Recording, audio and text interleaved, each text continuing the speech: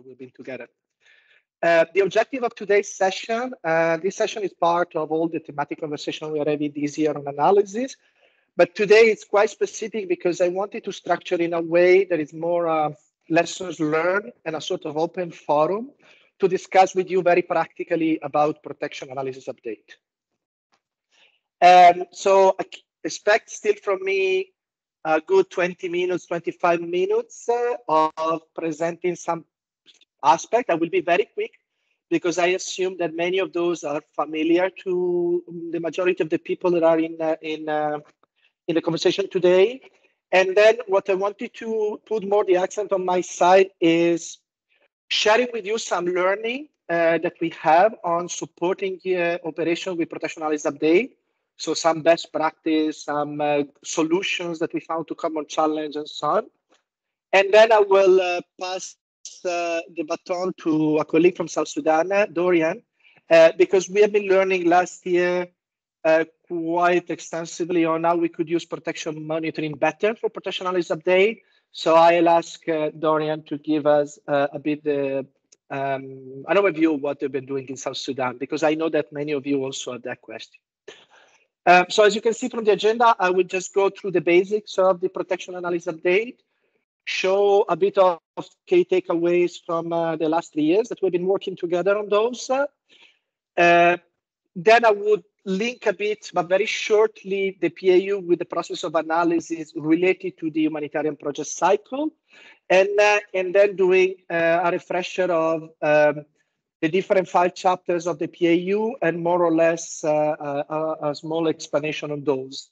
Um, I will be quick because I assume that many of you already follow this. So I really ask everybody to stop me, ask clarification and so on, because my idea is to, as usual, leave a good uh, 40 minutes, one hour to listen to you. So to actually have this as an open forum. You know that I'm the person that normally is supporting you in revising protection analysis updates. So I will actually to offer the opportunity to ask me directly on specific challenges and we can discuss it together. So if uh, there is no initial burning question, I probably will start digging into the presentation of today. But let me pause for one second. Is there any question or initial comment? Otherwise, I will ask for a roundup of thumbs so I know that I can continue. Thank you.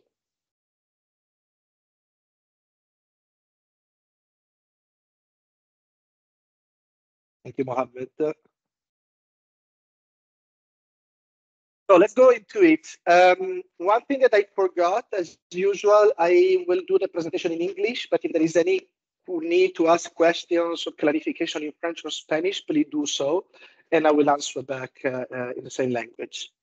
So let's go to the very quick. So the um, basics of the PAU. So the PAU, the Protection Analysis Update, has been introduced three years ago um, in a recognition that we as a sector need to provide uh, protection situation analysis to the whole community. So the goal of the protection analysis update is to call the attention specifically to protection risks and violations and uh, use this analysis to inform uh, strategy planning. So from the protection strategy work that you follow up on the on the relation with partners, the engagement of the ICCG, and the engagement of other actors. Uh, I have to say that compared to three years ago when we started, we are in a fact much better place in having the possibility of presenting protection risks. And this year, as you know, we are linking them much more with the humanitarian project cycle. So if the PAUs, the protection analysis update, has been the initial goal was to present protection situation analysis beyond the HPC, this year we're working with you so to use it much more consistently in the HPC process, but we're going to see it afterwards. The other two major aspects of the protection analysis update, I have often this discussion with IAM colleagues, is it offers us the opportunity to present analysis even in the absence of data. So oftentimes we tend not to, we tend to not report if we don't have data, we don't feel confident.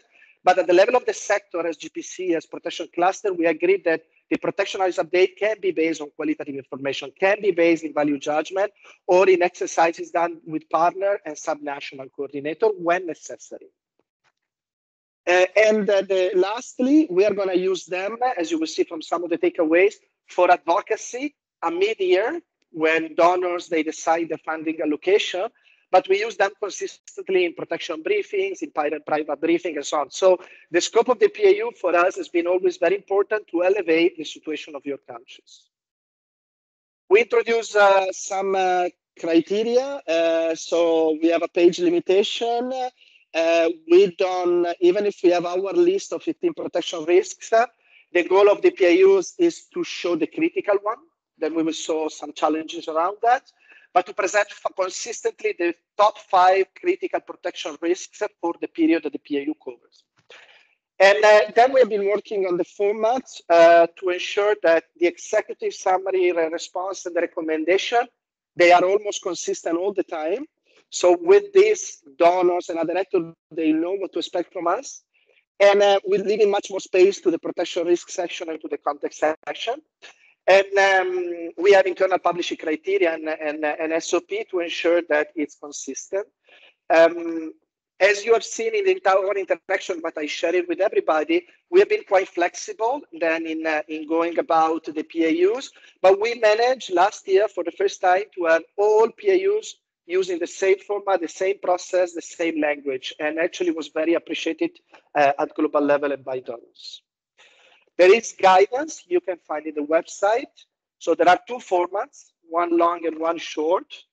Uh, there is a guidance on definition of protection risks. Uh, there is a guidance on how to basically structure the protection risk section in the PAUs uh, with a tutorial that links it with the protection analytical framework. And also there is a guidance on how to use the entire format visually with logo and uh, with graphs and so on. So this package is available in the website. Uh, and recently, which I didn't add here, we published uh, a human right matrix that we developed with OHCHR that links the risk with human right violations. So also for, for, for use of the language. Um, a bit of takeaways from last year, uh, from the last three years. This is the number of protection update that has been published. Um, as you can see, 2022 was a, a high level uh, production, but from the GPU, there were two specific stuff that were supporting in the drafting. And last year, we you have been actually uh, taking the, the biggest load of drafting, and we have been intervening in support. Uh, but it's still consistent across operations. The interesting thing that I wanted to show with you, that in itself doesn't mean much, but it's an interesting highlight, is we have seen over the year, in the last three years, through our website, that the average download of uh, PAUs was 131 downloads, as you can see, in 2021. And last year, and it's increased, this is from January, uh, we have around 800 downloads per each PAU, which is extremely interesting. It doesn't, of course, tell us the full, full outreach, but it shows you that all the work and investment that we have been doing, is paying the price because donors and external actors are going to those more and more and more. One thing that is important for 2023 is that all operation has been consistent in, uh, in, in showcasing five protection risks and using the same approach and methodology. Um, I wanted to show you some practice uh, around challenges. So this is based on specific uh, PAUs that has been published last year. Uh, because even if the protection analysis update is a situational update, it's quite flexible and you can adapt it to different uh, conversation or needs in country. So we have been having um, protection analysis update published that were just looking at one of the specific area of responsibility analysis for all risks. So we had an HLP1 that were using the language of the protection risks, identifying five top risks that are not naturally, for instance, HLP, but they were looking, we're doing a full analysis of HLP related issues with those five risks. So, so this is, a, this is a, a possibility when you develop a PAU. So a PAU doesn't have to be necessarily, it has, we have to have a national one, but this is one other possibility that has been explored in the past by operation.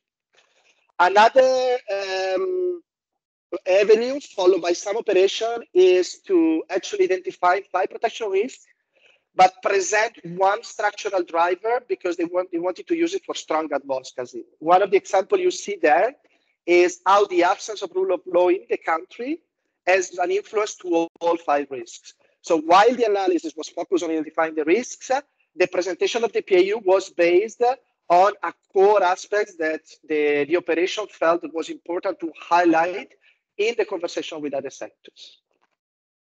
We have had fully qualitative PAUs, so PAUs that were not based on data, but has been based on uh, consultation with the national partners. Here is one example of people with disability. So there has been several workshops and consultation with the national uh, with national organization working with people with disability, and the outcome of that workshops has been crafted in a protection analysis update. So as you can see, there is also the possibility of doing fully qualitative PAUs.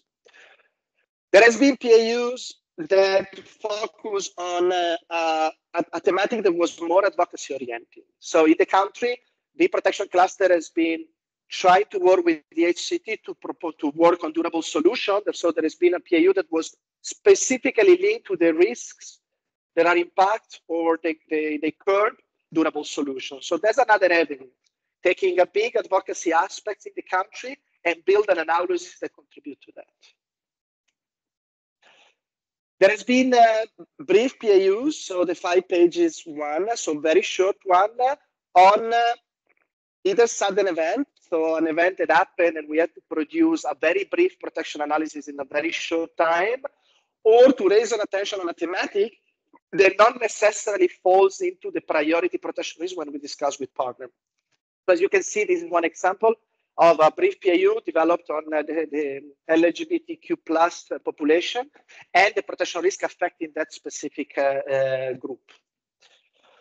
Uh, lastly, the last two, there has been sensitive content. So protection analysis update that has been developed with partners and so on, but we didn't publish them. We didn't share them widely, but we use them consistently in private briefing to donors, to member states and other actors, even in countries. And then uh, at last, there has been several PAUs that has been focusing on one region, one geographic area in the country. Some have been brief, so five, six pages of a protection analysis update on one region. Some other, they were long protection analysis update because it was important to highlight the situation of that specific area. So the cluster and the operation decided to go to a much more uh, geographic approach. And I stopped there. I wanted to show you possibilities that actually come from practice uh, to actually open now for a bit the, the over to you for any question or any, yeah, any comment. Kasia? It's not a comment i just wanted to really understand because you know with, with, i think for us as we're as we're uh, starting to think about our power we will definitely need to i want to discuss also with our aors this coming monday. Can you repeat the the first uh, area of how the specific area of responsibility analysis of, of common uh, protection risks? How yeah. how what was the practice that um, so far? What do we mean after that bullet? Thanks so we had, uh, uh, I think we had two, but one of this that is prominent is um, it was supported by the House Land and Property Area of Responsibility. So it was a food protection analysis update developed by the House Land and Property Area of Responsibility together with us. And it was looking at the risks, but from an house land and property perspective. So the analysis, I can share the example afterwards following up on the call. They were basically so the risks were not the typical one of house land and property because we had attack like you might have in Ukraine, but they were analyzing the driver and the effect from an house land and property perspective. And this it was actually is a conversation we are also having right now with the AUR at global level that sometimes we could have our own protection analysis update where we look at the critical risks. But then if there is a need of a focused PAU on child protection on those same risks, that would be great because then we could use them complementarily. So our PAU is what it shows to all the other sector, the critical risks, but then we can dig into much better on an area, an area of work. Does that answer, question? Yes, and then the second bullet point would, would be when, for example, we have we have a P we have the PAU that looks into the say this five prioritized critical protection risks, and say for example one of this is child protection specific risk without child protection uh, issues, but then there is this one um, one let's say um, specific issue that is coming all across five critical protection uh, protection uh, risks identified. Is this what we mean by that? Okay, cool. Cool, yeah. cool. Thank you so yeah, much. Yeah, on this I will I will on this Kasia will uh, touch afterwards because okay. I actually I actually aggregated the most common question I received, and this is one of the questions, and now the some of the solution we applied that we can discuss together. Cool. Is there any other comment? Thank you, Kasia. Any other reflection? Any other case that we didn't explore? As usual, I can ask a thumbs up if we can continue or if there is any need of another space there for questions.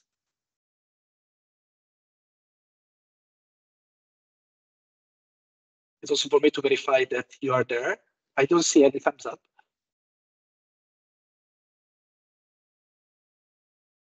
Hmm. Thank you, Enoch. Thank you, Mohammed. okay, so uh, here, for the one that participated to the core session this year in that we did one month ago on the revised process of analysis for HPC, I wanted to just go back to it very quickly and showcase when would be ideal to have a protection analysis update. If you remember last year, we were saying that we will need at least two protection analysis updates per year, and then the frequency can be adjusted. What we have been trying to introduce this year is a much more structured approach, whereby it will be very, very, very important to have a protection analysis update by May and June for two specific reasons. One is, is the moment where OCHA and uh, the intersectoral processes are defining the scope for the HNO. So it's the best moment to present a strong analysis. But normally June, May, June is also the moment where global donors are doing their allocation of fundings. It seems counterintuitive, but they don't do the allocation. Many of them, they don't do the allocation of, of, of funding when the HNO is published, but they do it a mid-year. So it's extremely strategic for us to have protection analysis update that are developed in the first between now and June, and then they're published in June. So this is to reiterate that we've been looking into that strategically. Of course, each context and each country can adapt the process, but that would be the most uh, strategic approach in order to inform uh, then the HNOs. Um, the way that has been work, so what we, we propose on the way to do protection analysis actually built on the best practice from all of you. Um, we have been introducing in March the Global Protection Updates Prioritization and Admin One. So you could use that survey as a starting point of looking at the severity of the different risks. And then what we have seen that can work very well is an exercise of prioritization, and then a second exercise of validation and update of the analysis. The process that were the smoothest were when this prioritization was done at a subnational level, and then at the capital level was aggregated. So I'm also sharing that as a lessons learned. Sometimes the problem, when we had problem of, of PAUs that lasted too long, or we had problem of agreement or disagreement, is where we centralized this only in the capital, and we didn't um, and we just based that on a workshop looking directly in prioritization. So these are two lessons learned as well uh, that we've been introducing. We are in touch with many of you.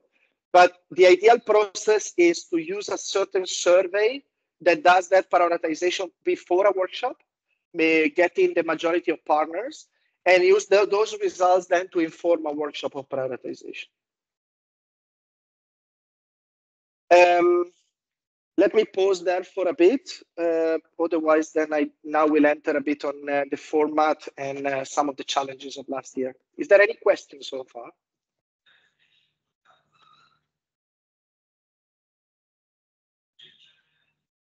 It's all clear. Yeah, many of you have been involved. I see the participants.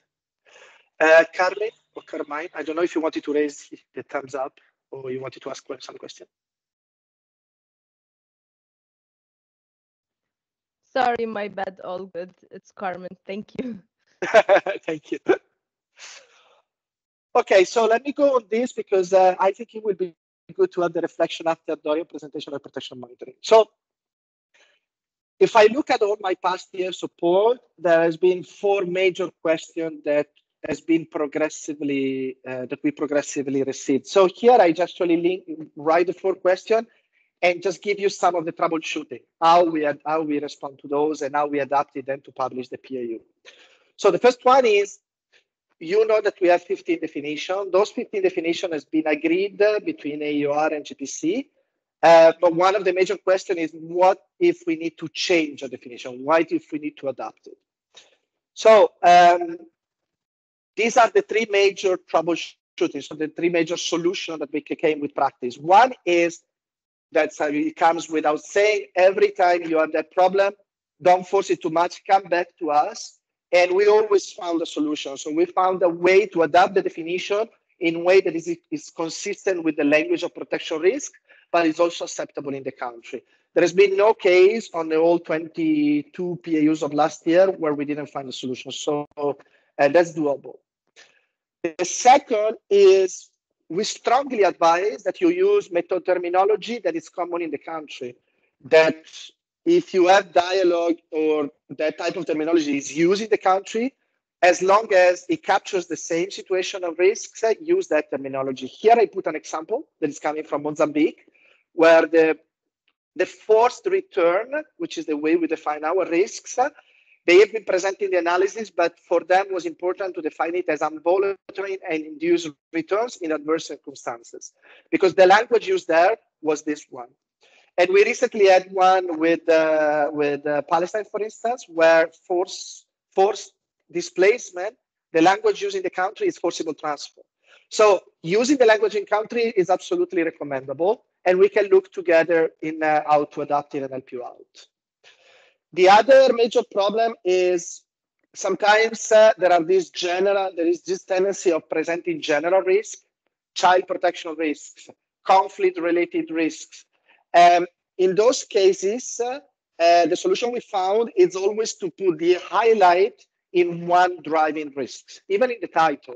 So here you can see an example where multiple protect, child protection risks were important.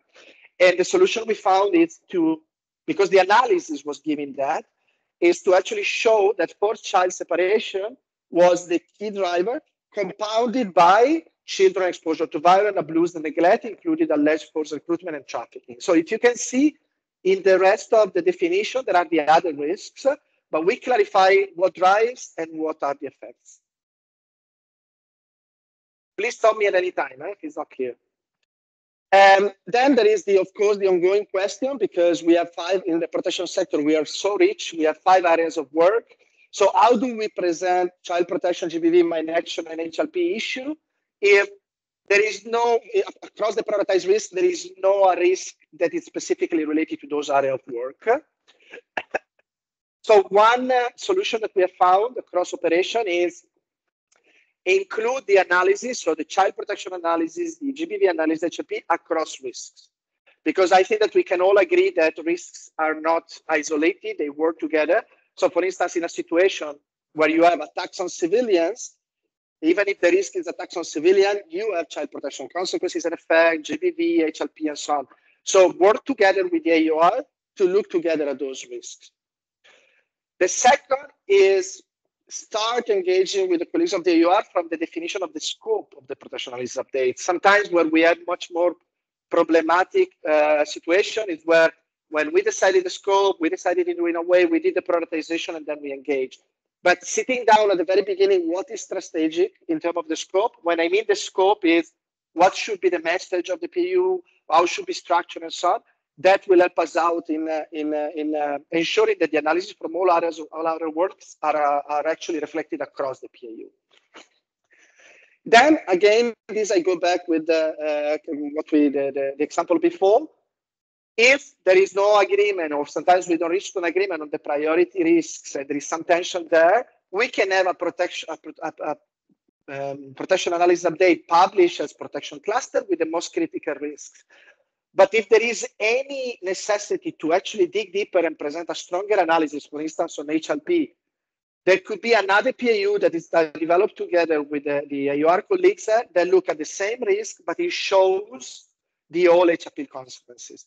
This actually is very helpful, not just only to, to come to an agreement, to have a strong analysis, but even when we present externally to the other sectors, because then we can use the critical risks as our common narrative but we can still show deeper analysis of the different areas of work. Um, this is a fundamental question that I receive basically every time. What if we have more than five critical protection risks? Um, so one solution that we found across is that sometimes one risk is driving all the others. So it's a structural risk. So it happens attacks, for instance, when there is a bombardment and so on. That when a, when a risk is a clear driver of all the other, you can elevate it to the context. So you have one risk in the context that is explained as a structural driver of all the other risks. So that gives you the space to actually focus on the, the one that are more the consequent one. Um, the, another solution we found is that, again, protection risks are not acting in isolation. So you might have, for instance, attacks, presence of mine, and uh, force and family separation. So assuming, for instance, in a generic context that attacks is the priority risk, in the analysis, we can present the other risks. So the effects in terms of presence of mine, how this impacted the population, and the compounded effect on, for instance, forced family separation. So we actually, the risks are not in isolation. The prioritization is fundamental for us to understand how to strategize. But then in the analysis, you can actually use the other risks to explain what are the effects. And then again, I go back to, this is another solution we found, additional protection analysis update. So you might have one uh, that is our main protection analysis update that shows the five top risks in the country, but then we can have a, a, brief one that dedicates only to one risk and enters in more detail into that analysis, or one risk that has not been included in the five risks. So you can use also those flexibly. This is the simpler. Uh, what if we have to write more than 15 pages? Uh, my my always comment is don't do it because it's not read, and I've seen it and proven all last year. Uh, but if sometimes it's necessary. So the major solution we found is there is many information sometimes that can be presented as annex. So an annex to the PAU is also a good way to use the document strategically because the PAU can help you out in, for instance, organizing a meeting with a donor or with the HCT and so on. And during that meeting, you can use the additional information that you have developed to present it and to present much more deeper information. Has been the case, for instance, for the response section, which many of you, I mean, having one page to show the response is a bit limited. But as we see, because in the PAU, we want to be very precise. So the whole detailed dashboard of what do we do and so on, we have been using those as annexes most of the time. Um, or specific thematic consideration we wanted to include in MPU, we, we, we included as annexes. Let me pause there. Um, let me give a pause one second. Um, does I have a question? Did do any of these solution maybe already answers to some of the challenges you had? I will ask you about challenges afterwards, but uh, there is any reaction uh, or comment or question?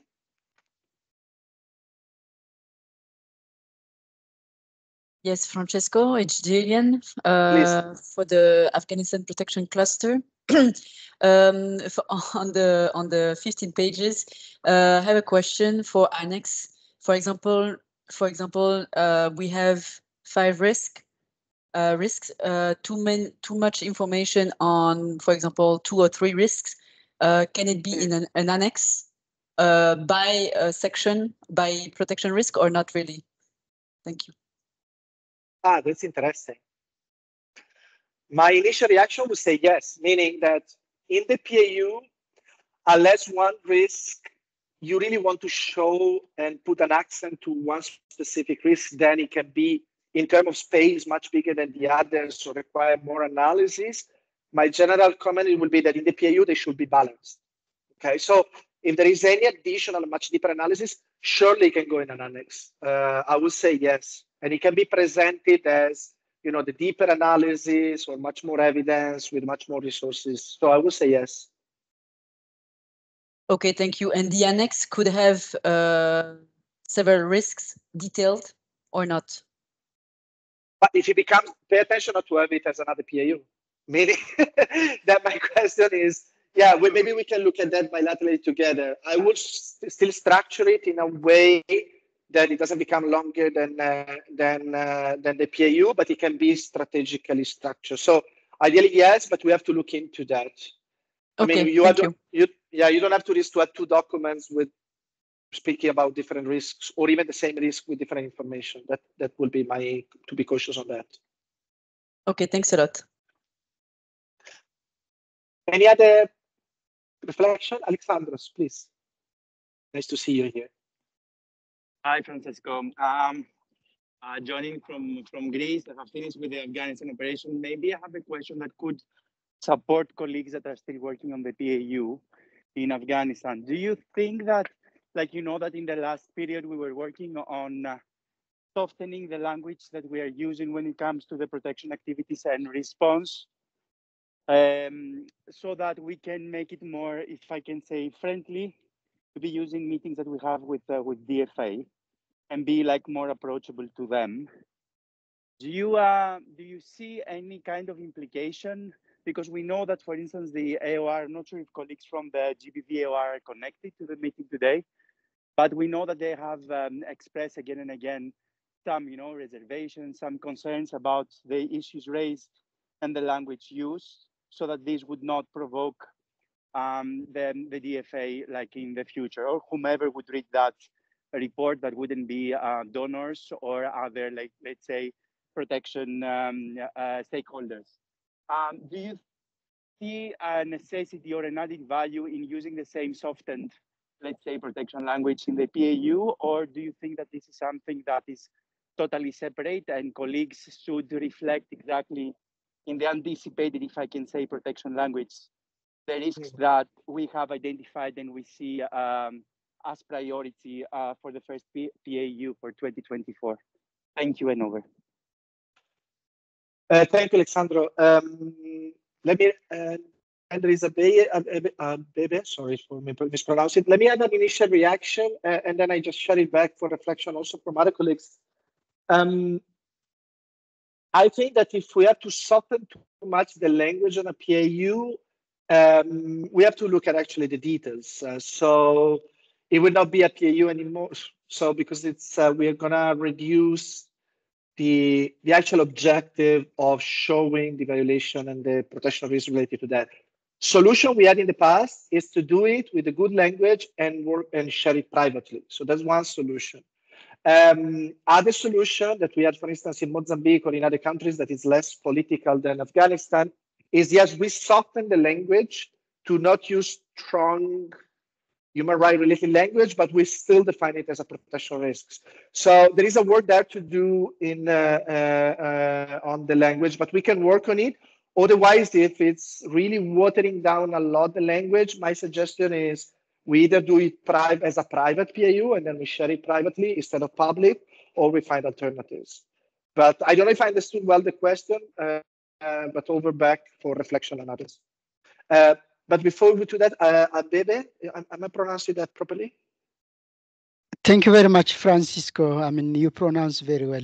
Uh, this is Abeba Yana from uh, Ethiopia. Uh, I have one question regarding to prioritization of uh, five critical protection risks. Um, yeah, uh, how to measure I mean, the likelihood and impact of I mean, a specific protection risk to compare other risks. Maybe some protection risk have uh, I mean, a huge impact, uh, but uh, less frequently happen. Thank you, and over. No, thank you for that, Abebe. Um, I don't think I can answer fully, uh, but maybe we can follow up bilaterally. Uh, two, three things that we've been introduced, again, building on lessons learned, is one, we have been introducing criteria uh, that we have been working together with the area of responsibility for each of the 15 risks for a better comparability.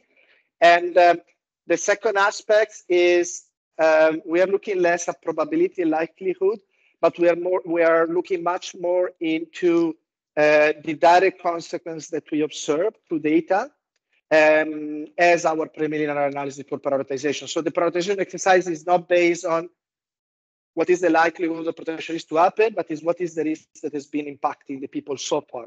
So it's less a forecasting analysis, it's more a descriptive one. Uh, but I, maybe I leave it there, and uh, we can follow up bilaterally if it's okay for you, unless uh, you would like to to to to, to have a further conversation. Thank you. But that's a great great question. Any other comments so far? Uh, Alexandro Gillian, I don't know if my answer, my reflection on your comment was okay, or if you want to, to think better more. Please, Alessandro. No, I um, fully fully agree. We're on the same page. I'm just wondering if, because we did the whole kind of an attempt, an exercise to make sure before going to a meeting with the Ministry of Labor and Social Affairs that we soften the language to the extent that the the, the activities that are implemented uh, under the protection cluster are welcomed in a way by the by the DFA and. Uh, even softening the language when we speak about GVB, speaking about women and, and their families, yeah. which yeah. doesn't necessarily reflect um, uh, the, the risks per se, the protection risk per se. So I'm just wondering whether uh, it would make sense to keep them like separate, or mm-hmm. as you rightfully said, have an internal version or an external version of the yeah. PAU that wouldn't, like say, put at unnecessary risk what the operation or the protection cluster has done already, has achieved already in very, um, you know, in very challenging um, circumstances in uh, in uh, in uh, in Afghanistan. That would only be my my concern yeah, yeah. the office, but I totally leave it with uh, the colleagues that are uh, will will uh, go on and finalize the PAU in Afghanistan to to decide on what's the best way forward. Um, over. Thank you, Francesco. No, thank you, thank you, Alessandro. I mean, one thing is we did indeed sometimes internal and external PAU. So that's doable.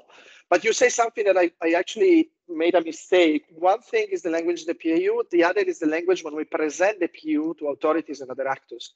In the presentation, we are absolutely flexible to use the best language possible. So there's also, we are actually working uh, the second part of the year to improve and support you on how to present it. Because the presentation does have to adapt to the context. So that those are other considerations. But I forgot to say, when I was referring to not being a PAU, it's on the document. So the document, yeah, we can do those different solutions, internal, external, one private, or maintain the language, but then the presentation, yeah, is understood. Thank you. Any other burning question? Otherwise, I still have, uh, now I'm going to go through the five chapters again to do a very quick overview. Many of you heard me a lot. Uh, but I'm happy to do it quickly so then uh, our colleague Dorian can give us a bit of inputs on protection monitoring and open a bit on questions. Is there any other comments so far? Thumbs up.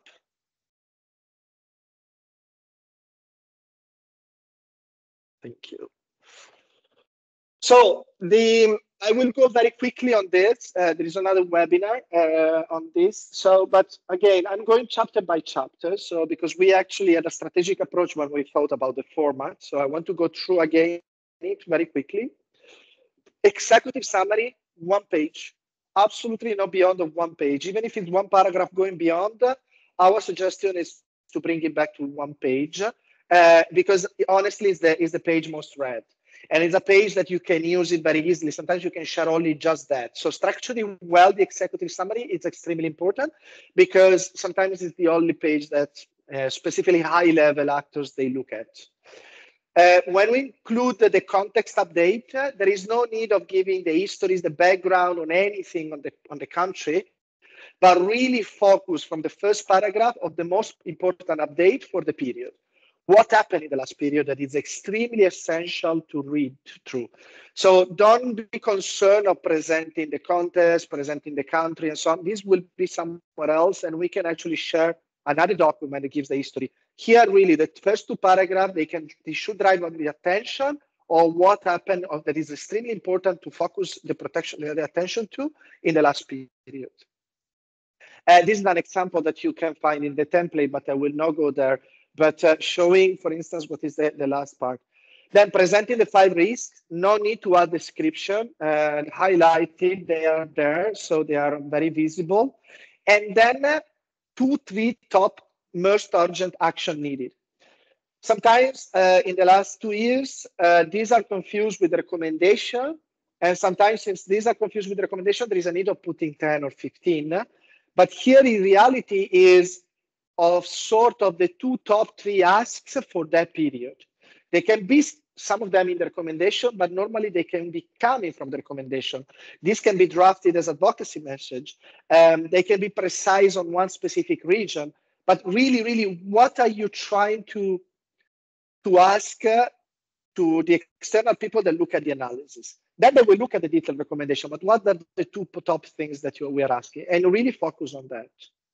Um, then on the severity, uh, one thing that we suggest not to do is to add the severity table of the HNO, specifically for now, for instance, we are in March, already not to add that table by itself because it's already far in time, but try to ask the, the, the IM colleagues to show variation, to show what changed, uh, even if we, we add the, the table that we use in the last HNO, if a long time passed, showing some additional layer of other information. So that table should of course be linked on that severity, but should be better structured.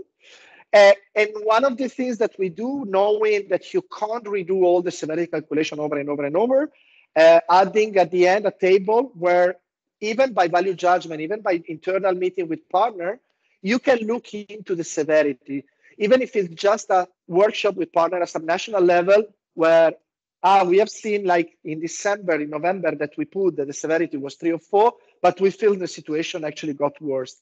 And it's a pure qualitative table. The idea of it is to drive the attention, not to, you know, and then open a challenge, uh, open for the conversation. So the point being, whatever you include in terms of severity in the executive summary, really focus on having an update and sometimes even focus on qualitative update. We don't need strong data to show that because then we're going to have our analysis that is actually sustaining why in specific region or a specific state this, we feel that the situation changed. When uh, please uh, stop me at any time. Eh? When we go to context, um, we have a standard table at the very top uh, there is no need of putting only protection data, but the, we, we suggest the most important figures that you think we should show to explain our analysis. So if it's a trend of displacement, it's a trend of displacement. If it's a food security data, it's a food security data. So really, what are the top most significant figures that really in a visual aspect, they gave already the attention on the driver of the risk that we have been putting into our analysis.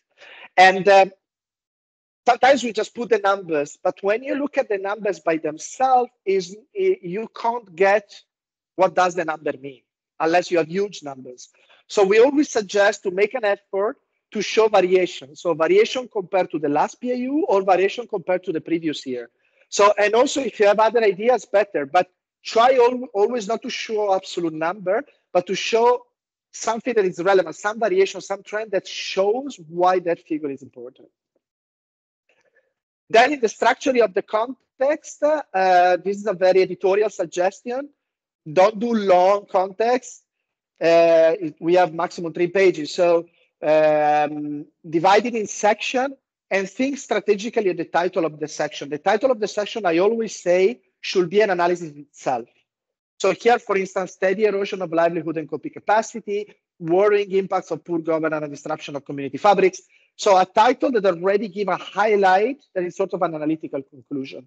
This is very helpful for the people that just screen documents.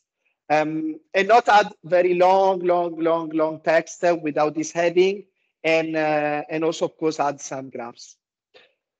On the graphs and information need, we have seen the tendency sometimes to use our approach of representative protection monitoring data brought to the PAU. So sometimes we have a question and we have percentage of people that answer this, percentage of people that, that, that answer that. In a PAU, our suggestion is always to either bring trends or correlation or to at least overlay different answers. So something that brings together two pieces of data as a minimum that you can use to justify your analysis. So uh, when I've seen, you have seen me, but when in the past we had just the graphs, for instance, on how many percentage of people was answering to specific question, we will always suggest to replace those, those type of information because that is good for a protection monitoring report. But when we bring it to the analysis, if we put something visual or some graph, it should show some correlation or something that actually sustain the narrative analysis. On the protection risk section, you all know the five risks. And then for the formulation of the risks, I will not go into the details because there is a tutorial. So the structure of the narrative should be based on the protection analytical framework. So logically, threats, consequences, and capacity. Then there are different ways. But then for the headings, um, this goes back to my previous, uh, actually, lessons learned from last year. Avoid general formulation. Uh, we can't have outstanding property as a risk or violation or all forms of violence. That doesn't tell what is critical. So that might be in our messaging and so on, but not as a title of a risk. Include always, I mean, a man-made factors. What man-made factors means, because we're speaking about violations, so when we speak about risk, force, denial, impediments, one of the things that happened at most, most of my work last year is lack of and the suggestion is to avoid lack of, because lack of is not in itself a risk because it's not related to the action behind that. Oh, thank you, Alice. Can you hear me now? I'm back. Yes, I can hear you, but you were it was frozen for a second. I don't know if it's us or if it was if it was you. So sorry for that. So uh, moving forward, um, sometimes there is uh, important issues in the country is the example, for instance, of food insecurity and malnutrition. In our PAUs, is never the title of a risk because that is another sector situation. But we could frame one of our risks to be linked to that. So it happened in, uh, I remember, I think it was South Sudan two years ago, where there is a the, the, the, there is a food food insecurity situation, and our risk were related to discrimination and denial of resources, leading to food insecurity. So it's extremely important not to be driven by one of the most important crises in the in the country, but link our language with risk with that situation. Um, and then the, at last, the general contextual events are not risk themselves. So conflict, ongoing violence, occupation. So this means just when we define what the risk is, and it links to the first one. So always avoid generalization. Try to be a bit more precise uh, on uh, what is the driving risks and defining the densities.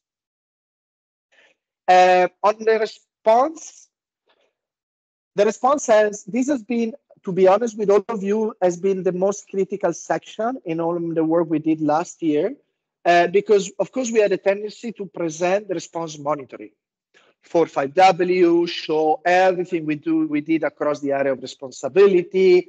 If we show one area, we have to show the other. I we know all of that situation. But as I say before, this section should be very, very analytical in a sense. We are presenting the risks. We are telling these are the critical risks. So the response section should be what are we doing as protection actor that is positively contributing to the risk we identified? So what progress? And it can be strategic and can be tactic. So for instance, there has been one area of the country where we have been increasing community-based approaches and it's actually been effective. And we want to actually advocate for that community-based approach to be extended in other area of the country. So this, I will focus the progress into that. So in this area, in this area, we have been implementing community-based approach with this methodology and it contributed to mitigated risk in this and the other way. So really progress, not response monitoring, but important progresses in relation to the risks.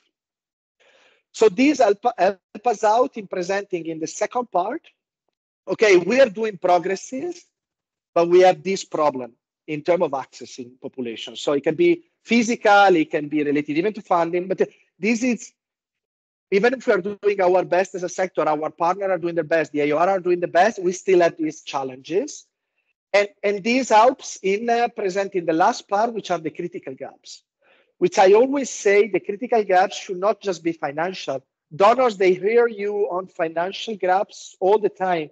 So they can be financial, but what is really critical? So for instance, with the example of community approaches, yeah, we would like to extend that, but community approaches are not prioritized in uh, funding, for instance, or in a pool fund. So that is so. What is that has to be changed, that it's a critical gaps in order for us to be much more effective in addressing and mitigating the risks. So I stopped there on the response. I just pause one second. I know that this is the more, the less intuitive for the way we work, but the bottom line is anything that is response monitoring can be presented as an annex and can be presented as an additional aspect to this section. In this section, really doing an effort with also the AOR colleagues and the partner to really focus and see what progress we want to show, what barrier we still have, what gaps we still need to address. That also can help us out in funding, it can, can help us out in expanding type of activities. And I will, let me stop there. The last part of the recommendation, uh, key recommendation, I always suggest that for each risk, we can't have a list of 25 recommendations for the same logic. They have to be critical, they have to be important. If there are more recommendations, again, an annex. So here we can include the, import, the important one, what we think are the most critical one, and then we can have a much more detailed document of recommendation. That always my suggestion organize them against the risks. This uh, in 2022 seems to be problematic, but all last year, all of you didn't find, uh, all operation didn't find any problem in linking them to the risk. So that's, I think that we can skip that. But there is still something on the recommendation that I always suggest we should advance on. Sometimes the, the crises are not changing, so we always have the same recommendation. And sometimes we tend to do general recommendation. Um, many general recommendation Even when they are general, our suggestion is to do two things, to do an effort to link very well the target. So this maybe is a recommendation that should be taking place by all the humanitarian community, but really include the target because that allows us, allow the external reader to, to, to show that we understand where the, the, the problem, what the issue should be addressed. The second is to add a time bound period. So this should be done by the next six months, by the next quarter, by the next year, because otherwise we will face these consequences. So it's not anymore a general recommendation, but we are actually putting forward what, when we think this should be done. And it doesn't stay as a recommendation that is never implemented. The second is, even if it's a general recommendation, for that specific period, where in the country is more important. So uh, we need to improve these or to ensure this specifically in this region, this region, and this region. That doesn't mean that we are excluding the other region. That shows that in the last period, we have a good analysis of what happened in the last period. So on the recommendation, these are just improvement we see that we are still, we have still to work together. Localizing it, giving time bound, uh, and linking well with the target. I stop there. Um, sorry for that it took long, but I thought it was good to have a refresher on this. Is there any comment or question before I pass to my colleague Dorian uh, for a bit of reflection on protection monitoring?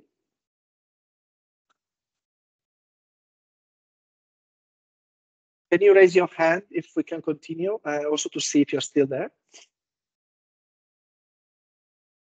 All clear. Thank you, Billy. Stefan, please. Or you, you wanted to give thumbs up? Sorry, it should have been a thumbs up. Thank you very much, Dan. So we will have some some space. Ah, Cassia, please. I don't know if I mean I will ask my two questions and tell me if it's better to ask them at the end of the to clarify at the end of the session. One, when you spoke at the beginning of the period, of the PAO, should we count from the last PAO or really focus on the, the I don't know, the developments in the last month? What's what's best? That's really strategic, uh, meaning that it depends on the time passed from the last PAO. So what I say that would be interesting is just in the figure in the context that you could put something from the last PAU or and then another that maybe the last period so you can show some trend. But in terms of the coverage is really strategic. So if you think now that the one that you are publishing in the next couple of months should focus in 2024 focus it in 2024 no need to cover all the events from the last one. Cool. And then the second one is like thinking, you know, how we will organize the process um, in Ukraine. Just to make it clear, you when in the one of the previous workshops you were and also with the JPU we shared this table like with the subnational analysis quantitative to which there could be some qualitative analysis also added in how we prioritize risk. Just to confirm, because that's something I'm planning to share with the subnational coordinators, and this is something you would also support, right, and uh, help us out in case we need to train a subnational coordinators on the yes. 15 risks, etc. a little bit, right? Absolutely, because that actually, the, what we introduced with the GPU at admin one was a lessons learned from the PAU of last year. Many of you told us that prioritizing risk is extremely difficult because you have AORs, you have partners, you have different opinions and so on. And in those two, three countries where we actually did that at a national level using some sort of quantitative survey helped because then the conversation at capital level was starting from something. So, so the introduction of the GPU is exactly for that objective. This year, it's a suggestion that we had for everybody, use the GPU we did to start the PAU process, even at subnational level. So we could start from something, we can have a better prioritization at subnational level, we can bring a national level. So absolutely. And then we are not we are not discussing this now, but we are, you know that we are revising also the HNO methodology. And one of the things that we're going to introduce is to use the GPU admin one plus the prioritization for the severity at the end of the year. So you don't have to redo the exercises. So, and much, very much happy to support on the tools, on the training at some national level, everything. Uh, I'll get back to you bilaterally because that will need to happen pretty soon. And I'll be in Geneva as well, so we can yeah, Perfect. discuss. Thank Thanks. you, Cass. Any other question? So if it's okay, then uh, Dorian, over to you.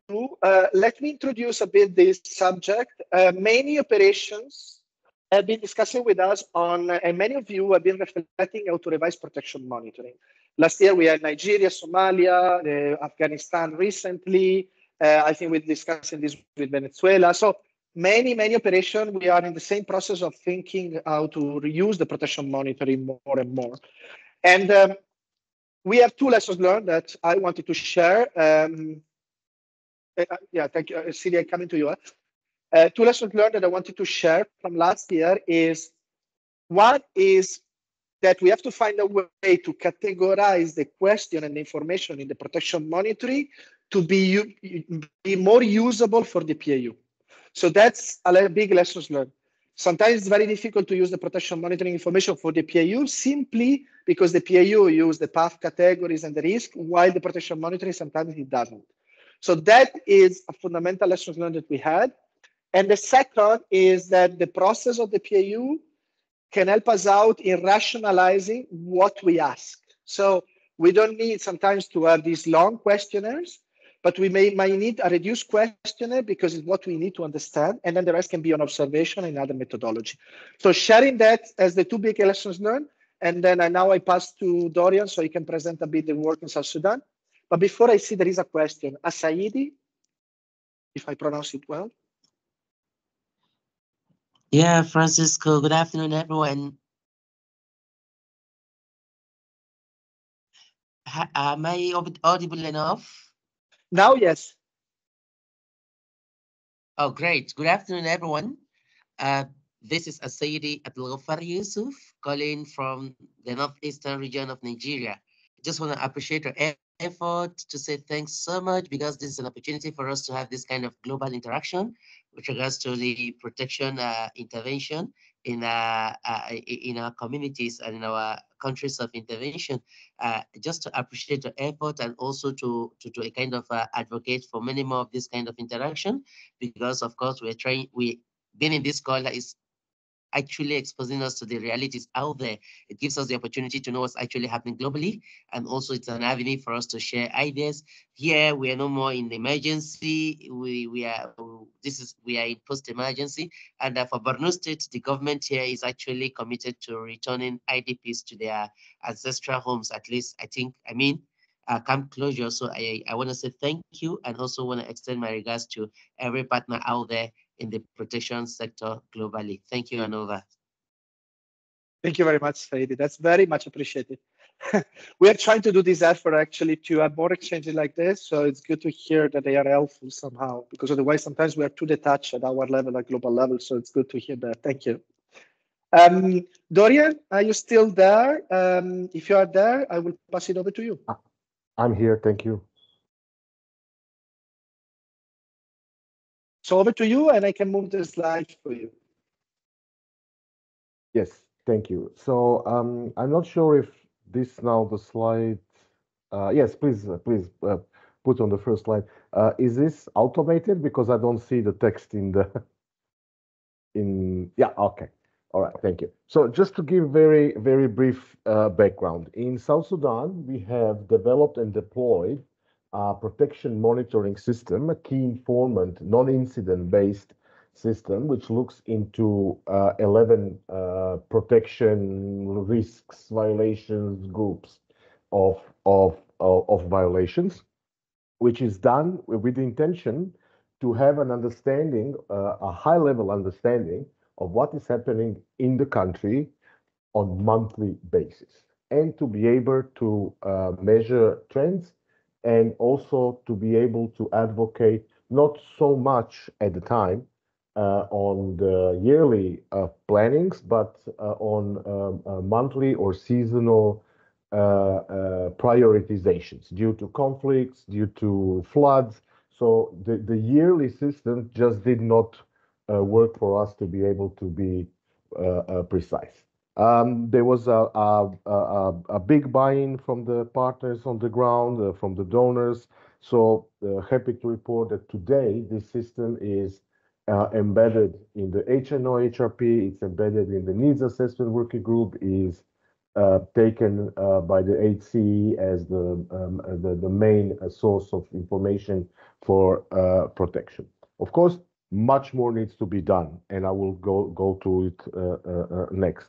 What I just wanted to show on this first slide, um, and comparing it to uh, uh, an example of uh, one of the risks, is basically the structure of the information needs that we have put together. So the first one is about prevalence, is it happening?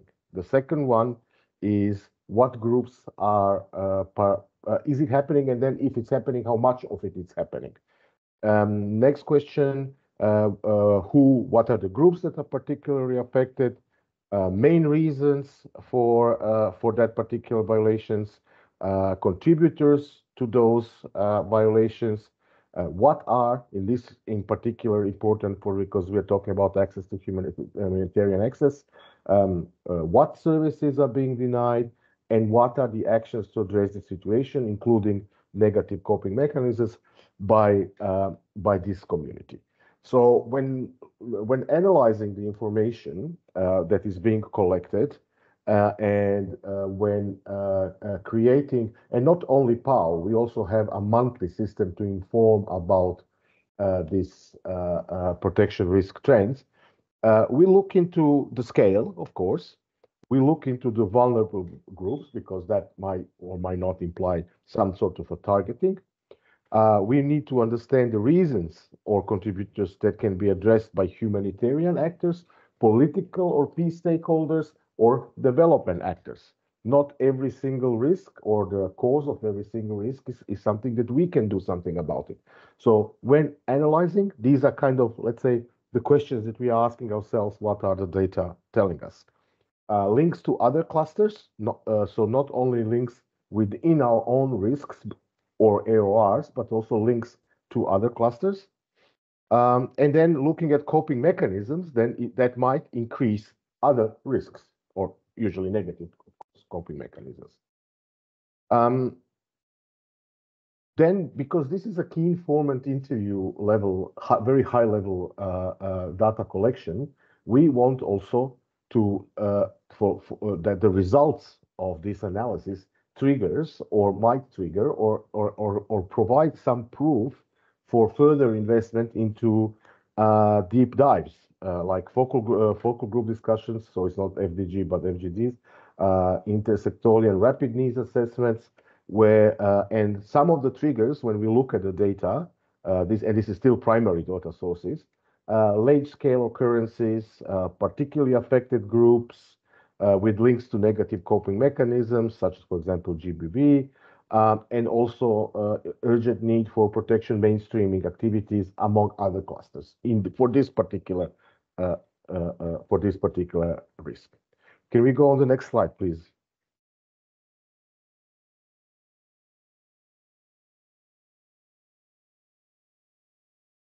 Francesco, can we go to the next slide, please? Ah, thank you. Sorry.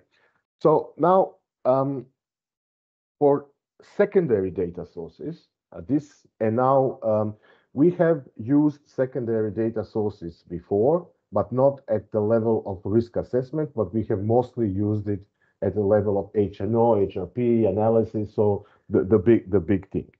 Now we are moving towards uh, uh, including secondary data sources, and this time, as you can see already now, in a PAF-structured uh, way.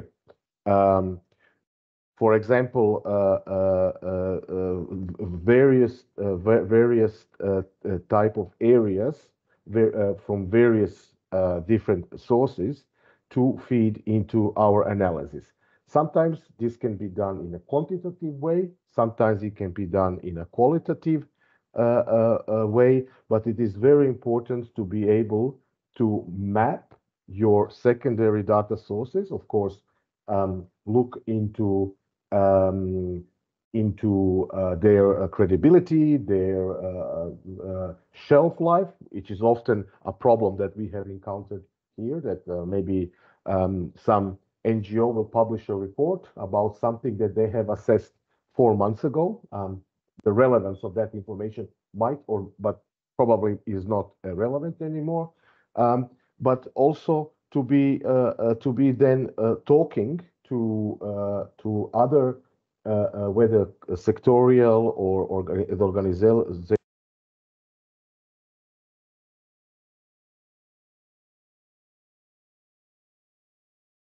We lost you, Dorian. Your mic. Yeah. So yeah, so I'm just going to uh, uh, uh, go back in a nutshell. So now we are looking into structuring our secondary data. So some of them already existing. Some of them is in the pipeline. Some of them is is fully functional, but we haven't looked at it from the perspective of the PAF structure, You know, the threats, the characteristics, the consequences, and the capacities. Um, And in in, in some, we are negotiating with some of the prime, uh, some of the owners of the data to improve their own data collection or increase their own data collection to uh, to feature some of the needs that we might uh, also have. For example, uh, we are now in talks with CCCM for site population profiling.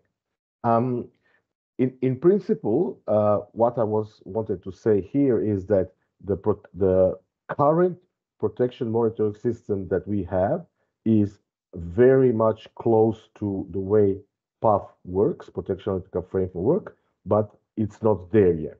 We are now in the process of of looking at the secondary data sources and mapping it in a way that it feeds and and it's and it's collated in a way that PAF can uh, can can uh, it, it can be it can be analyzed by using.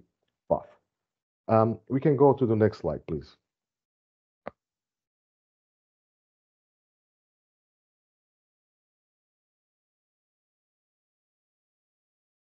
Can you see it, Dorian? Uh, not yet.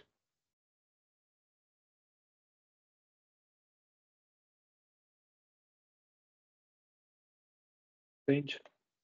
Yeah. So uh, with with the um, protection monitoring system that is already in place, um, we have uh, established another important thing, uh, which we call the PROMO, the Protection Monitoring Working Group, which is uh, which consists of, uh, at the moment, of about 40 protection partners that are engaged in data collection and data analysis. And we are working closely together with them to uh, to serve, and as you can, you would, uh, to to serve as both a data collecting, but also data and information analyzing hub, uh, which also then partially serves also as a group which creates a PAO. So very quickly, a protection cluster member is asked to a collect quantitative data through what we will now call PRMS. This in the next couple of months, together with the support from the global protection cluster, we are revising our protection monitoring system to be fully um, uh, uh, fully uh, harmonized with the 15 protection risk and the analytical framework for every single of the one of those risks. And and apart from having the key informant data collection tool, we will also be creating focus group discussion, rapid need assessment, observation methodology, harmonized tools that every single protection cluster member will eventually, hopefully, use. And all the data, quantitative data, uh, will be analyzed through the PRMS and provide, uh, of course, visualized through a dashboard, provided as a data source to the needs assessment working group, which then collates it with other clusters to prioritize uh, at the geographical level. We will provide it to Promo. In parallel, at this particular moment, and I'm sure this is also happening in some other countries as well, uh, together with the Global Protection Cluster and DRC, we uh, there is a deep project that is uh, providing a new another Uh, useful tool, which is uh, which is fully aligned with the path, where quantitative information are being stored and tagged. Uh, today, this morning, we had the first training of our partners in the field, and also this will uh, happen in the months to come.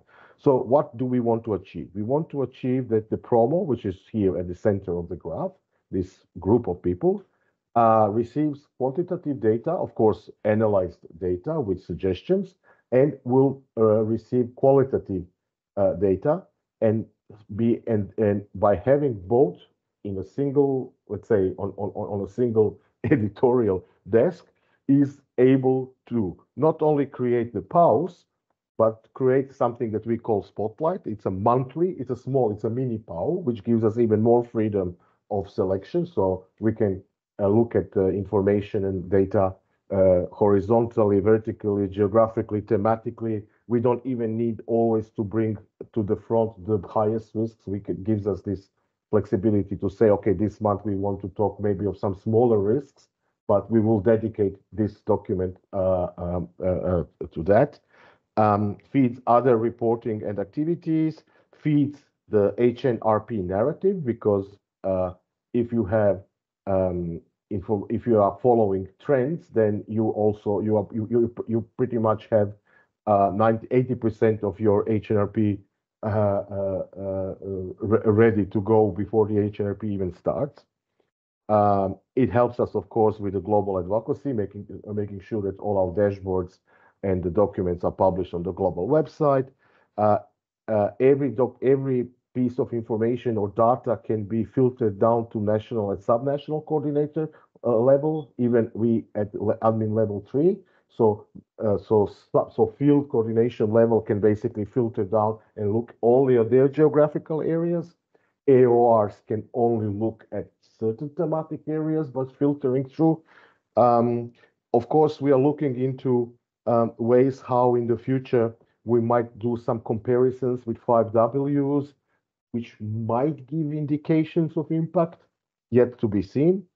Uh, and of course, it will help us by identi identifying HNRP needs and targeting from the thematic point of view. What areas and not only from a geographical point of view, but also thematic point of view, uh, we we will be able to uh, to support uh, uh, the best. So it's quite complex, it's quite large, but it so far has uh, uh, we we are on the way.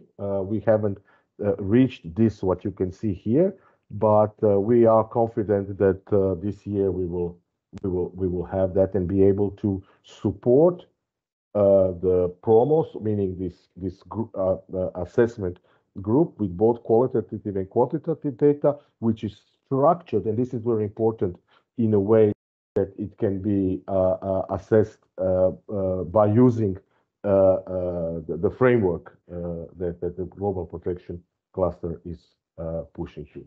So um, also just was one final word before any uh, uh, questions. Um, the importance of it is that we are trying to make it light and fast, as light as possible and as fast as possible. So far, this uh, uh, gave us a lot of credibility. Second parenthesis, last year, when doing HNO, uh, uh, we the uh, protection monitoring system was our source of information for probably about 70% of uh, of uh, of our uh, assessments, and it took away a huge cost for household level assessments across the country. In protracted situations, this is not needed. Maybe every couple of years, but it really is not needed to be done uh, every year. So took a big load of of the the, the general humanitarian, uh, uh, let's say, efforts in collect collecting data. And yes, as Francesco said before, we also do rely occasionally, whether thematically or ge geographically, on uh, rapid desk reviews with key people uh uh, uh, uh, uh, on the ground. Not everything can always be quantified. There are issues of various sources, but as long as the quantification and the desk review is done in accordance with the framework, we so far have not experienced any problem and troubles or or have received any pushback by people from the PID by saying that we are misrepresenting the situation. Thank you. Over to you, Francesco. Thank you very much, Dorian. Amazing. Um, I want to open for questions, but before um, that, just one comment that I think is an important one for everybody. Uh, South Sudan doesn't have huge IAM resources. So it's just Dorian. So one other thing that I wanted to highlight is uh, one other thing that I found interesting is that this organizing of information against the framework and uh, the lightening of the process and focusing more the protection monitoring to the framework on how to contribute to analysis was very supporting and was doable even if not having a full team of IAMs. Um, so just, a, just an example of why for me was important to share. But uh, before any comment or question, I know I don't want to call out some colleagues, but uh, I know the colleagues from Afghanistan, they were doing a similar exercise and they're thinking about it. The colleagues of Venezuela. So it would be great to share a bit, uh, I don't know, your reflection on this. If you see the possibility of working together on the protection monitoring as guiding the support on the PAU, uh, but over to you, colleagues. Alice. Thank, uh, I, well, thank you, Dorian. This was super interesting. I mean, of course, uh, it's a lot of work and we're just starting with it. Uh, but I think it's interesting because, well, it, in our case, it's a special case because we also have relationship with the protection sector of the Response for Venezuela platform. So it's not a protection cluster, but still we're trying to see how we can standardized protection analysis inside of Venezuela and then also in the region. So having this as an example, uh, it gives me idea because we will do we will have a workshop next month exactly on this. And inside of Venezuela, we're having talks with other NGOs who are already doing protection analysis with different uh, tools. Uh, but I, I, mean, it's it's a lot of di to digest. but we wanted to understand uh, basically what I'm trying to do, we have a new SAG and have like a subgroup in our SAG of organization that can support this, especially those that are already implementing um, protection analysis. So I don't know if it's something that you do with specific organization in South Sudan or just as a coordination team of the cluster and what the role of the area responsibilities are because what my uh, perception has been here in Venezuela, they have not been involved a lot in all this uh, protection analysis. Not sure if because of the global AOR or what the reason is, but we basically are trying to engage everybody, but it's quite new because at the beginning it was just done as a um, from the coordination team. So i'm just trying to broaden it. So i just wanted to understand with whom you're working with and how that is going in in south sudan. Saying thank you. Thank you alicia. Dorian over to you man. yeah. So um, well of course uh, like everything that when you want to create something you need to start with a small group. Um, uh, and uh, this was first of all this was put in the protection strategy. So the uh, the coordinator at the time decided that needs to that needs to be done, and AORs uh, uh, supported that a protection monitoring system needs to be in place. So how long it took them to make that decision before I, I came here, I don't know. But the, the, so first of all, you had the decision. yes, it took probably about eight months to convince everybody to uh, talk to AORs, to talk to some of the key protection players, to talk to OCHA, to talk to um, some organizations like REACH, which quite honestly felt threatened by the that you know they are not the sole um, source of information in the country, and of course talk to cluster members. So that the, the part was quite long, uh, but uh, once uh, we, we we did get quite a good strong support from UNHCR, even some small little funding from ECHO. So you know once you start distributing a little bit of tablets, start start doing a little bit of trainings, uh, the, momentum the momentum is there. So uh, then we realized that this is going to be much bigger than you know that uh, a two or three uh, member team can do here. Uh, so we basically established PROMO, the Pro Protection Monitoring Working Group. Uh, the working group consists of 40 members. So just to give you the scale, the protection cluster in South Sudan has 267 members, of which 120 are reasonably active. So about a third of active members are involved in the protection monitoring working group. Um, so that gives that gives uh, gives uh, takes a lot of effort in managing and and you know organizing month, monthly meetings, but then it takes a lot of responsibility and buying.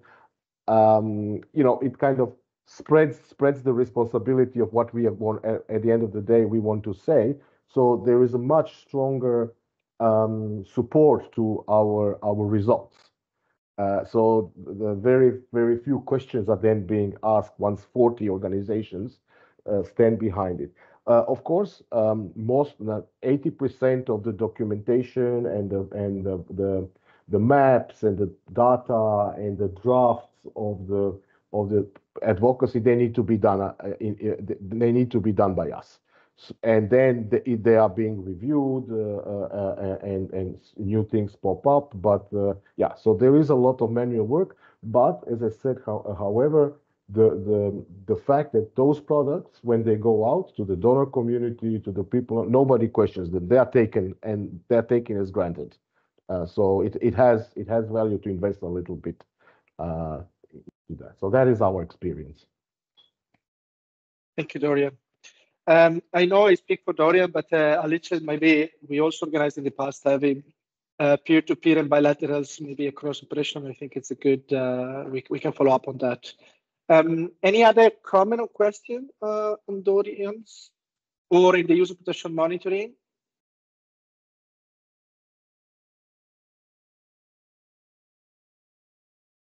Just uh, so thank you, Dorian, for this. Huh? Thank you very much. Uh, we can share also some of the material on the work. Uh, Dorian already put a link in the chat, but we can follow up. And uh, just to tell you that we're going to have a pilot uh, exercise uh, in South Sudan in the next month and a half that is going to also inform the revision we are doing to the overall HNO process. Uh, we have two things in mind that we found as general challenges.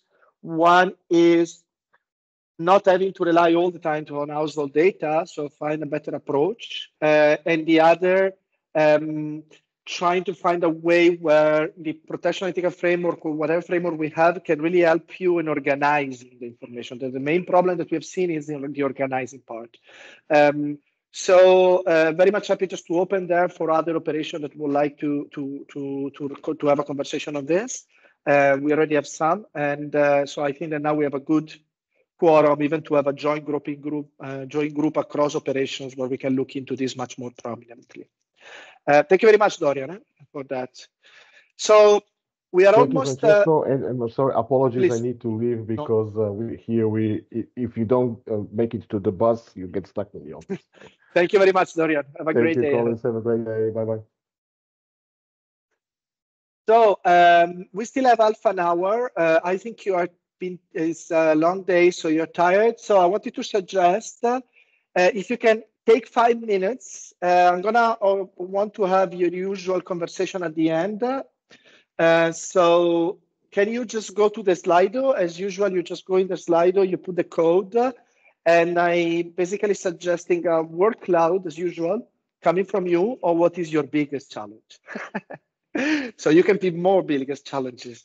Uh, I think that I know most of them, but it will be good to put it there. Uh, so then we can open maybe for a 15, 20 minutes of reflection. And then uh, uh just uh, we can close up and then uh, go to the next steps and action points. On my side, I will pause two minutes just to give you time to enter in the Slido and contribute to it. Someone put the code. Let me show how does it work. Uh, what is it?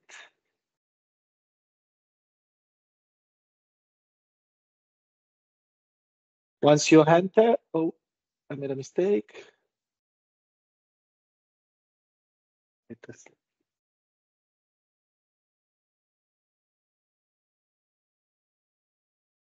So once you enter, you just you could be able to add a word or more than one answer, and then this will give us the word cloud to just let it flag together.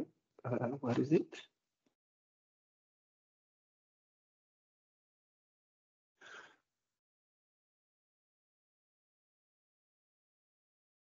Here you have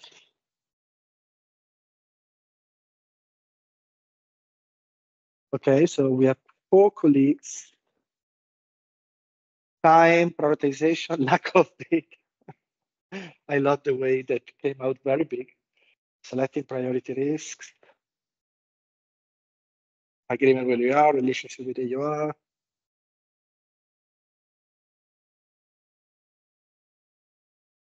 Ah, access to data, yes.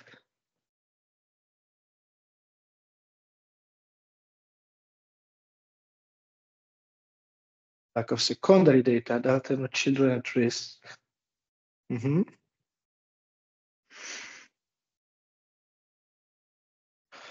Amazing. We have around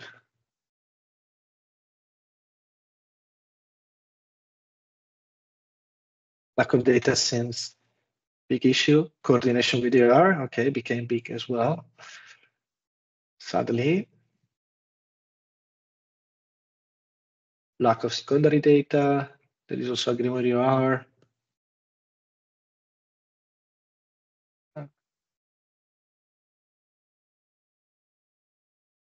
Give you another minute and then uh, can you can you still hear me? It's some problem with the computer. Can someone give me a thumbs up if you can hear me?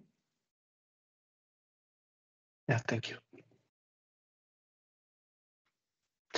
Okay, so let's start let's start digging into that. Someone would like to jump in and feel brave to maybe uh, add some comment on coordination with AOR lack of data and prioritization the three main one of the three main things. Someone feel it's our moment of exchange and it's open house so.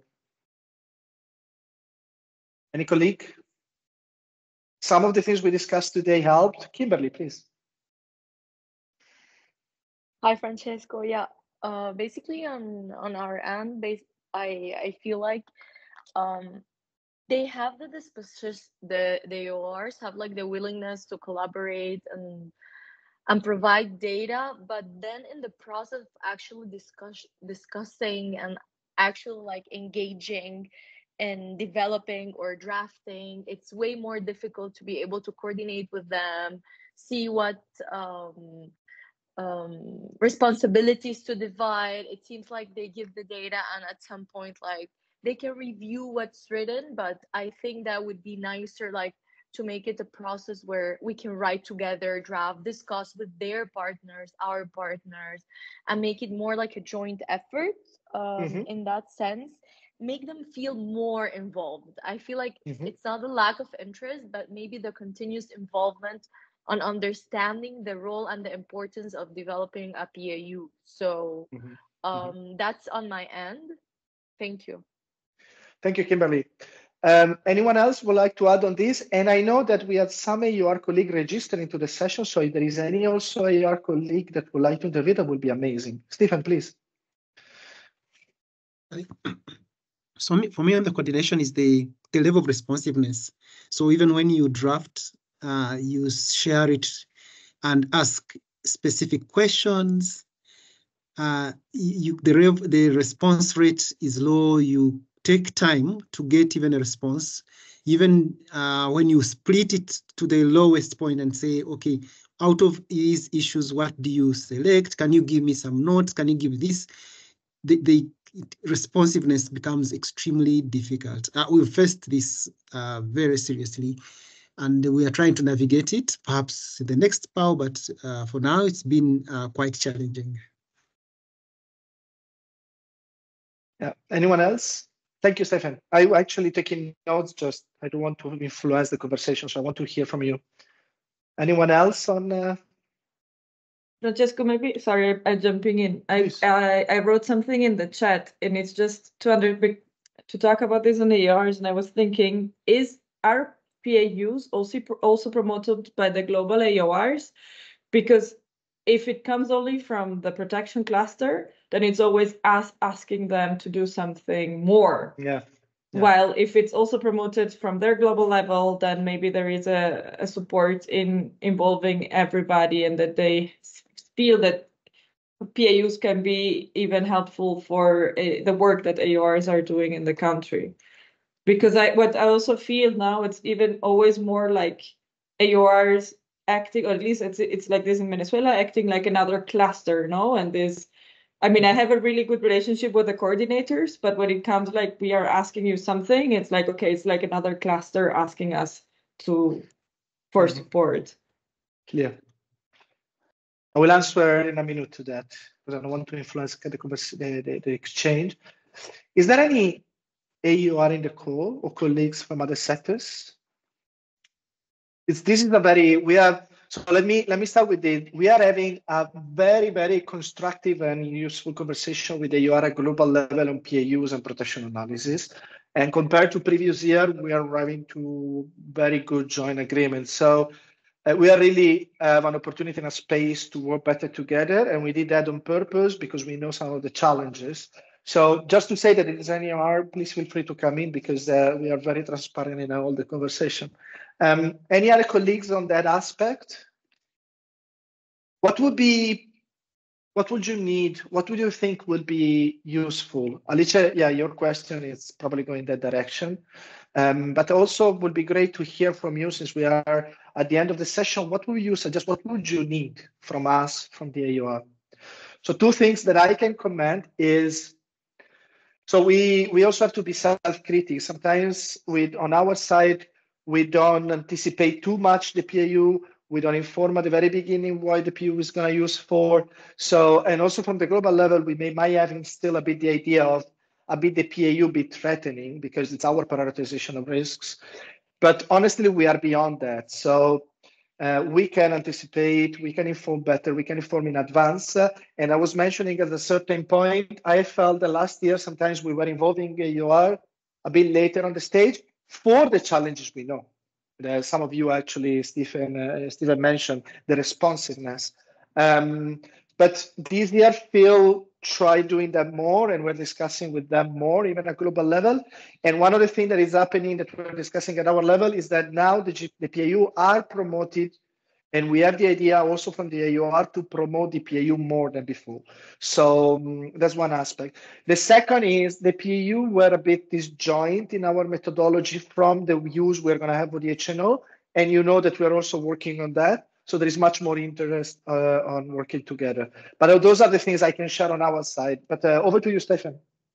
Let's be constructive. Just one small example is uh, if, for instance, the CP AOR gave you space to make a presentation on the PAU, its value and usefulness during their global AOR meeting where they have all the AOR coordinators participating and you have this discussion and hear from them actually they also give feedback to you saying look yeah. how best can yeah. you be involved what do you want these protection people to do so that you can feel uh, yeah. you own this process Over.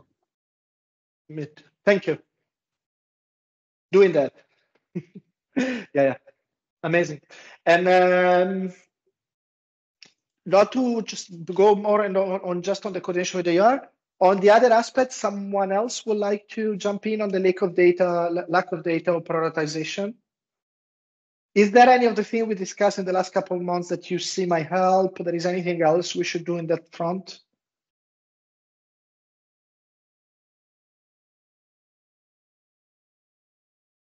I know that then bilaterally we're going to discuss, but there is any also suggestion? Let me occupy the space and time, uh, but then I would like to hear from some of you.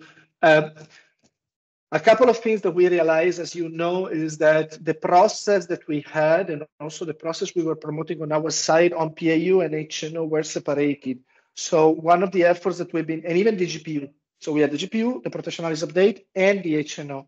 So one of the things that we're working very, very day in and day on is, as we presented last month, is the linkages. So where the GPU survey that you do in March, in June, and in September, that we will use the severity that is coming out from that, both for the prioritization of risk for the PAU, but also for the severity in the HNO. So we are figuring out on the IM side, so please come back to us so we can discuss in the next months how to do it but that we thought that when it comes to priority risk, that challenge, this might help because that is going to be a wider conversation. We have some information and so on. And then on the lack of data, we are doing some other uh, work that maybe I comment on afterwards uh, because I see Kimberly raising her hand. Please, Kimberly, come in. Yeah, Francesco, thank you. Um, I think few comments were my my comments were on the on the lack of data. Would be nice also sometimes to understand um, how to use um, secondary data. Let's say, I don't know, in the case of the protection cluster, we have the protection monitoring tool. But yeah. then, how do you make use of other monitoring tools, um, reliable information, how you integrate without making it seem that there's a lack of data or there's an overload of data? So, maybe a bit of guidance on how you analyze something and where to include or where not to include sometimes uh, this data and this information uh, throughout uh, the PAU, honestly, could be in the context or the protection risks. Yeah. And sometimes where to look, how to look at data.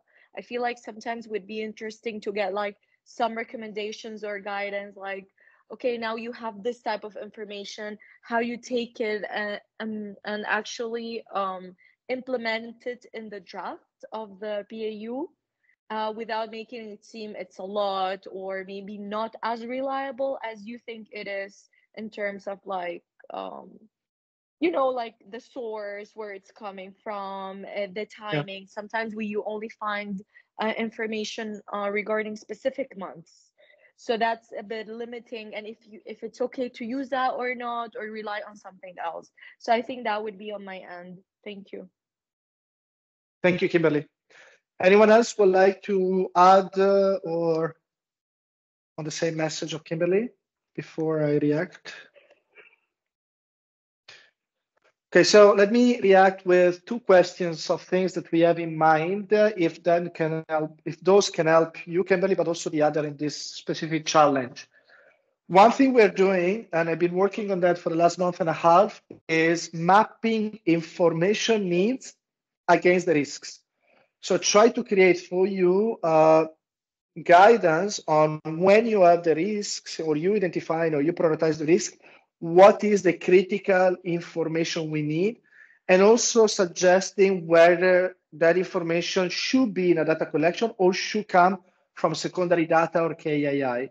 So in our logic, in our logic is, let's say that you do an exercise of prioritizing risks, so you have been agreeing with partners with AOR, you have your five priority risk. Automatically, we are trying to create a tool where you can look at the data, at the information, the minimum information you would need moving forward, that's the data landscape, in order to either verify or reinforce the knowledge about the risks or to fill some gaps of information. Is that that could that be useful? Because something we're working very heavily and we're working together with the, the AOR and with reach and ETM. So we're really doing this exercise. So one of the goals we had is that any source of information that you have around, it goes back to the risks. So you can use that as category in order to start having a dialogue in terms of data with other operations. Would that work? Uh, that's my, my, my one of my question. And then on the secondary data, there is something that I have seen that we lack sometimes is has been done, for instance, in Burkina. I remember it has been done. I remember an exercise in Myanmar. Maybe Stefan, it was you that was on that exercise, and in Afghanistan, where once they prioritized the risks, they had a specific workshop with partners and actors in okay, we have this risk. Who has data? What secondary data is available? So they had a workshop on mapping uh, the, the data sources. That I still feel that is a good exercise to be done once you prioritize the first the initial risk. Not on all the 15, that's undoable. But after the initial prioritization and first understanding, doing an effort to sit down, and some of it might be qualitative. So I also understanding what is quantitative and qualitative. So sharing those two um, ideas, uh, Kimberly and others, if you think that those are interesting and helpful. And then, and uh, so Kimberly, over to you. But then Stephen, I think, I don't know if you want to comment on that exercise in Myanmar. I think he was there. And maybe Gillian, from your experience as ACAPS, if you have any other suggestion. So Kimberly, yes. over to you first. Yeah. Oh, Stephen. Oh, sorry. Yeah, yeah, no, Francesco, I, I think I answered on the chat. I think um, specifically the first um, idea would be great like to have this guidance of what is the main information and then we take it from there if then we need to organize Amazing. let's say focus groups discussions whatever and have a more one-on-one um, conversation with specific partners. But i i do think uh, the first first idea is great uh, for us at least. Thank you. Thank you Kevin. stephen over to you. Sorry.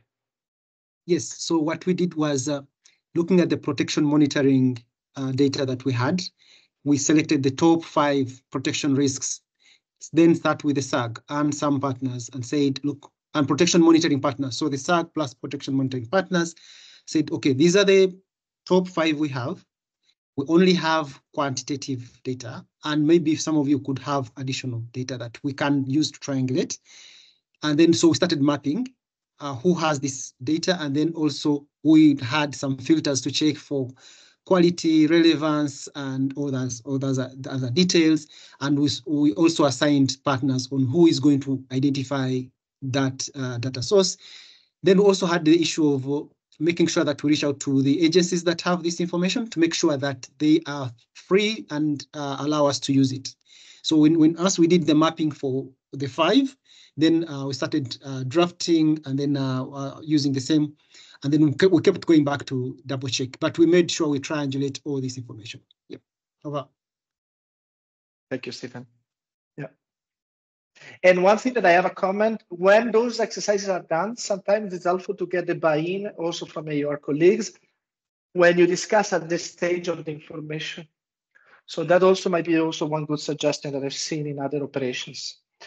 Uh, Gillian, on the secondary, Stefan, please. Sorry, Francesca. Yeah, actually talking about AOR. So for us, the AORs were involved from the beginning.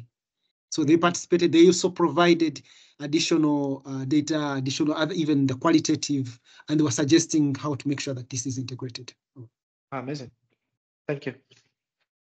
And Gillian, do you have any suggestion from your ACAPS experience on the question of Kimberly on secondary data and things? Uh, thank you, Francesco. Uh, unfortunately, I'm sorry, I came in ACAPS uh, early this year, so um, I dived into the PAU directly and fully. Uh, but so, uh, so, so, so that I can, I would say I could, I could reach out to more, let's say, experienced colleagues at ACAPS uh, to provide uh, additional information on uh, on how ACAPS is have some tricks and tips for secondary data. Thank you, thank you. It's uh, totally understandable. But yeah, you, so sorry. you know what? No, no worries. But you know what I'm gonna do? I see that another colleague, Frey, is in the call. So maybe Frey, I don't know if you heard the question, but it was on uh, how when we have lack of the lack of data, how do we go about it? Are we understand which secondary data we can use, how we ensure that we have the right amount of it. I don't know if you are you can hear me, but maybe having your reflection would be great. Sorry I can. Hi, sorry, I I wasn't able to attend most of the session, but um, just jumped on quickly because it was quite interesting. Um, so yes, on secondary data, um, what we're doing, we were piloting a project called uh, PAF Deep. Um, so I would urge you to tune into our learning session in 24th or 25th of April, where we're going to share some lessons learned there as well.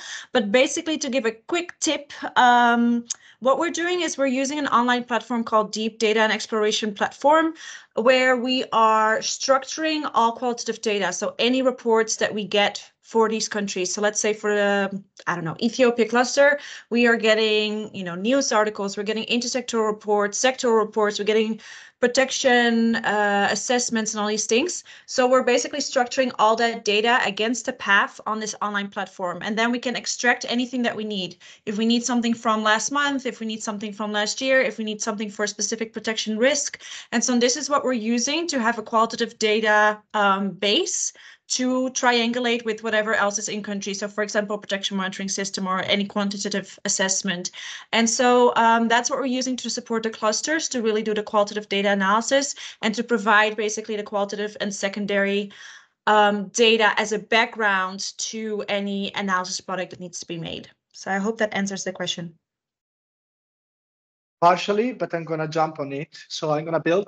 Um, one of what is interesting, what we're learning from the support that Frey and colleagues are giving to Mali, Niger, Burkina, uh, South Sudan, and Ethiopia, is that, um, of course, to do an exercise of secondary data is that big, you need resources that we don't have. I already know that you don't have those resources. But what is interesting is the logic of having core categories try to bring all those information with those categories that help the dialogue with the AORs, the dialogue with other partners.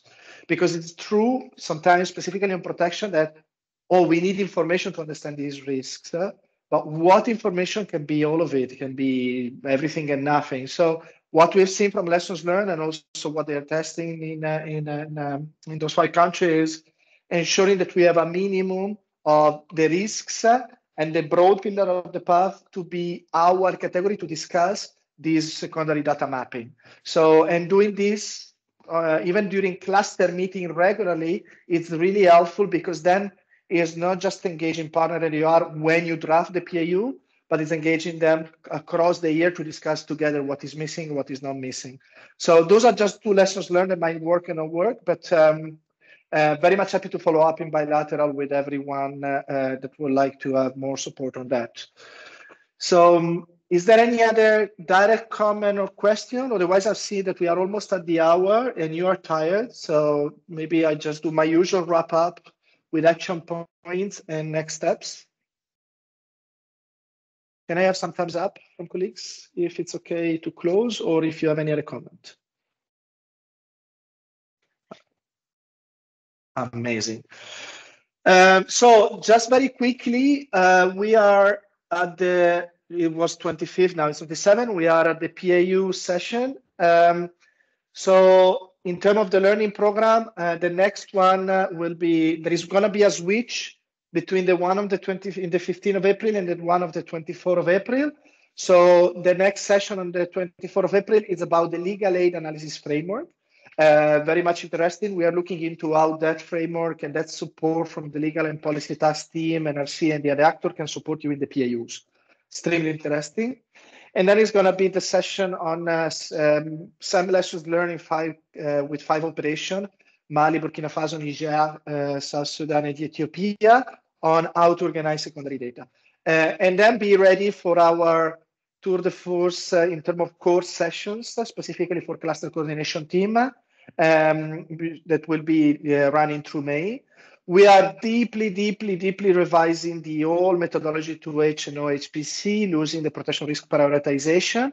And um, we have been participating in the JIAF workshop last week, and there is going to be a revision on the manual. So I'm, I'm already telling you that we're working with OCHA global level to include the 15 protection risk in the JIAF manual and also to link better your risk prioritization that you do quarterly with the scope definition of the JIAF. So uh, we will discuss all of that in May. So those are in very interesting, important sessions that we, we can do together so we can see if we are on the right track. Um, having said that, on my end, uh, thank you very much for the timing. In terms of action point, uh, I take that we have to uh, coordinate well with the AOR to see where we are on the PAU. Uh, so expect more from us. This was already in plan, but I take it as a note as one of my biggest suggestion. Um, and uh, guidance on data and so on. So we keep you posted on that, uh, and I take it also as as a suggestion. And then who is interested, we can organize exchange peer to peer between operations that are looking at protection monitoring. So as I told you, many of you are doing that. We are we are working bilaterally, but let us know if you want that to peer-to-peer. It work much better uh, often than having us intervening. So just reach out. Okay. Um, on my side, uh, I really thank you to be there after two hours.